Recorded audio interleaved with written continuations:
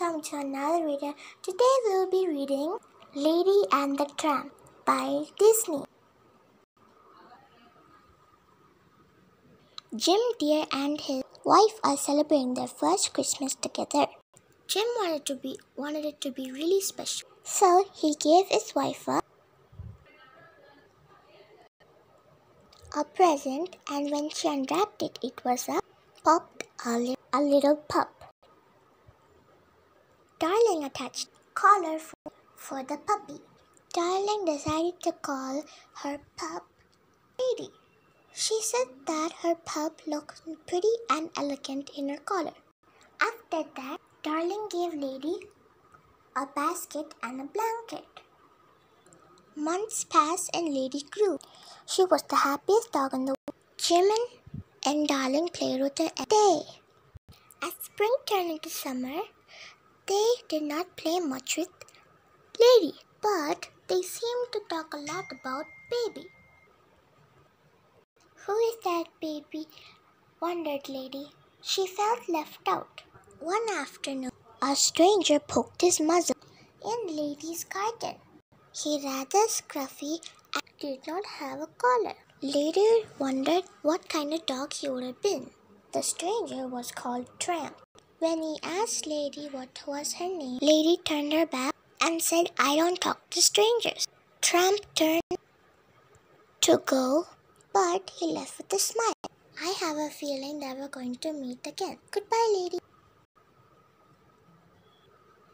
How did you know my name? demanded astonished. The next, when Lady visited Darling's bed, there was a baby boy. Lady looked at the boy and smiled.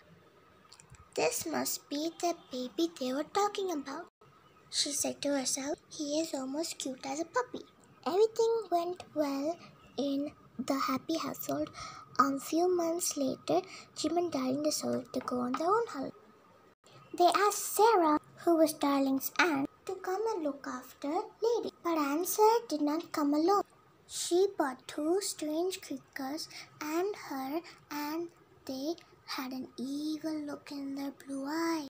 They were Sarah's Siamese cats, Si and Anne. Aunt Sarah never went anywhere without her cats.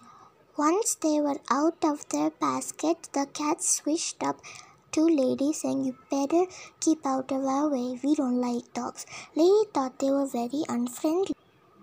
To make matters worse, Lady had a feeling that Aunt Sarah did not like dogs very much.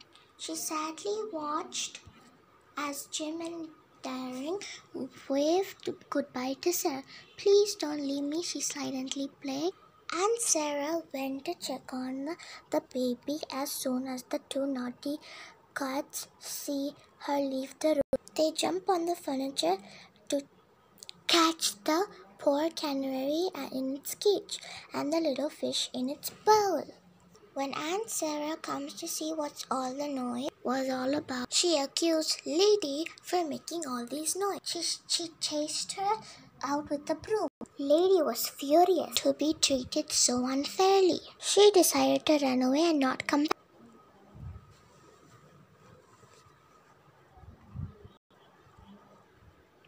I've had enough of Aunt Sarah and her cats, she said to herself. Lady wandered the streets for hours and finally found herself on a crabby, seedy part of town. Suddenly she heard barking and was terrified when she saw some fair dogs ready to attack. To a lady's astonishment, Tramp, appeared. He bounded up to Lady and barely fought off the dogs who were surrounding her.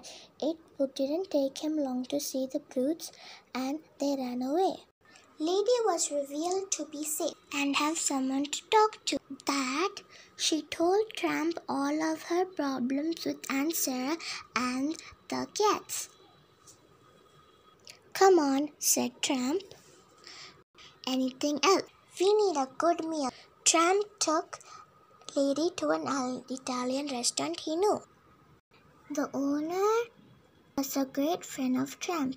He bought them a big plate of spaghetti, and while they ate, he played a beautiful Italian songs on his accordion. Oh, this is wonderful, Lady delighted to Tramp. After their dinner, Lady and Tramp went to to the park for a romantic moonlight walk. The two days grass as tenderly as they were. At the end of the day, full of adventure and new feelings, the two new friends went to sleep under the stars. The next morning, wait, dude, we have to switch. Now that's perfect. Back to the story. The next morning, Lady felt much better. She and Tramp explored the outskirts of town. She was enjoying her walk when suddenly Tramp heard clucking of the chicken in the garden. Did you hear that, lady? Chickens, chickens means eggs. Eggs means breakfast, cried Tramp before he lady could stop him. He leaped right into the chicken coop. Stop, yelled Lady, you'll get caught. But Tramp did not care hear her. He was too busy chasing the chicken around. The farmer was so angry that he called for the dog catcher to come and catch Tramp. Tramp managed to escape, but poor Lady, who couldn't run fast, was caught and bundled into the dog catcher's wig. The dog pound was a gloomy place, and Lady, who had never been locked up before, trembled with fear. Luckily, the other dogs were kind to her. There's nothing to be scared of, said one of them. Your name and address are on your collar. Your owners will be looking for you. He was right. The next day, one of the guards took Lady home. Once again, Aunt Sarah was angry with Lady. This time, she took Lady outside and chained her to the kennel. Lady was ashamed she had never been put on the chains before. Tramp arrived, relieved to see Lady again, but she was angry with him. Look at me. Shh, I'm a prisoner, she shouted. This is all your fault. Go away. I never want to see you again. Tramp slunk away slowly. Lady had never felt so sad and lonely in life. She couldn't sleep and wished Jim and Darling would come home soon. She had thought that Tramp was her friend, but all he had done was make things work. Suddenly, she saw a shadowy figure creeping towards the house. It was an enormous rat. The rat climbed on the roof and slipped through the window of the baby's bedroom. Lady barked and tried to get free. Tramp heard all the barking and came to Lady, running to help. Lady was pulling at her chain and explained what she had seen. There's no time to lose, barked Tramp. Luckily, the kitchen was agar, and Tramp raced into the house, who followed by Lady, who at least managed to break of her chain. They charged upstairs to baby's bedroom, then spotted Tramp the rat. Then Tramp spotted the rat and launched himself at it. The Upar woke the baby. Aunt Sarah, who didn't see the dead rat, she was concentrating on these two dogs. Out! she yelled down to the cellar. Now, and with that, Lady and Tramp found themselves locked in the basement. Aunt Sarah called the dog catcher who came in his wagon to take Tramp away.